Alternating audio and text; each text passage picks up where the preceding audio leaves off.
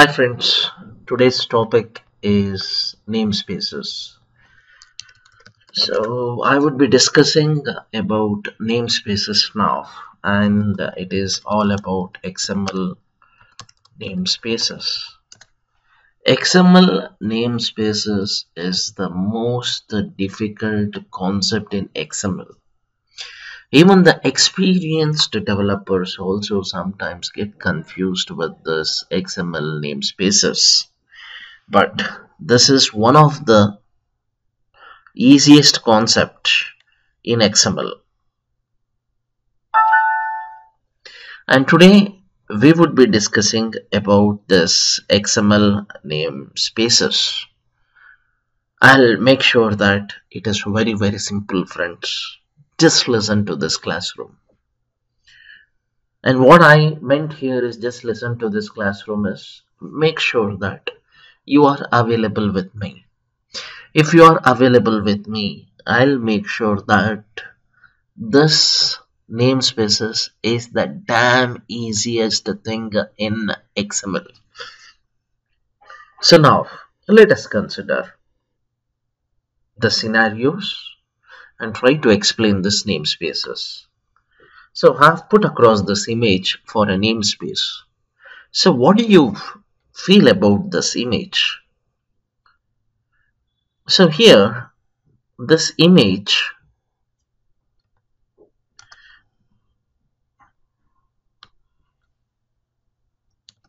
so in this image so what you have is that uh, you have this racks one two three four. You have multiple racks. So here this rack the contents what you put here is different from the contents that what you put in this racks. Don't worry about that. Just I have put across this image. We will see it later what it is. Now coming to namespaces. My scenario is how I want to explain the namespaces for example you take this table. Now this table the context where it is used is where it is used is very important. For example, this table, a spouse tells, in the dining party, arrange dining table. And this is for dining party. And next database developer. He tells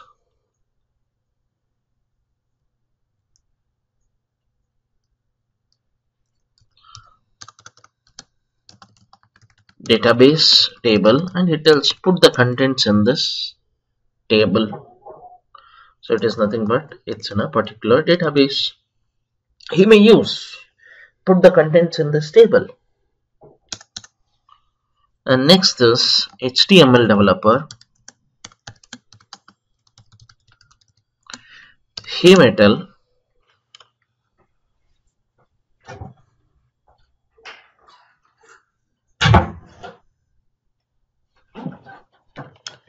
HTML developer, he may tell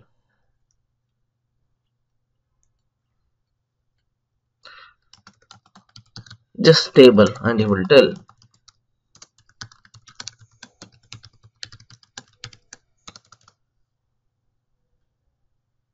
display the contents using table. Now here based on the context the same word table it's behaving differently. And it is having a different story framed in the mind based on the context where it is being used. For example if i tell it is dining party then the table is dining table. For an html developer if i tell it's table then it is called as html table used for display purpose. And if it is for a database developer then it is a database table. So now the users how they build the story on this table. And the story is their experience on this table. And their usage on this table is totally different so that's what a namespace is. That is nothing but the context.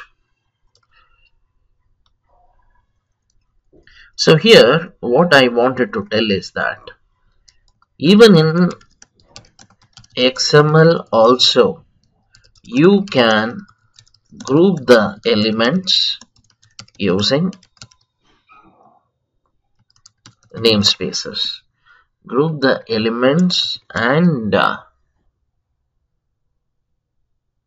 attributes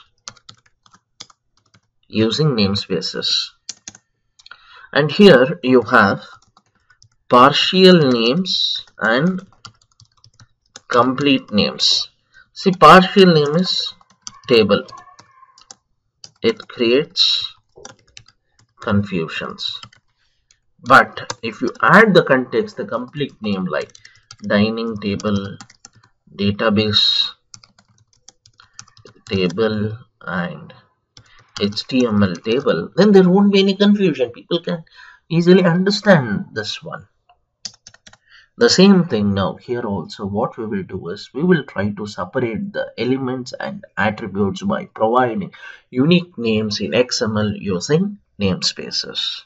So this completes part 1 of namespaces friends. Thank you. Let me write this.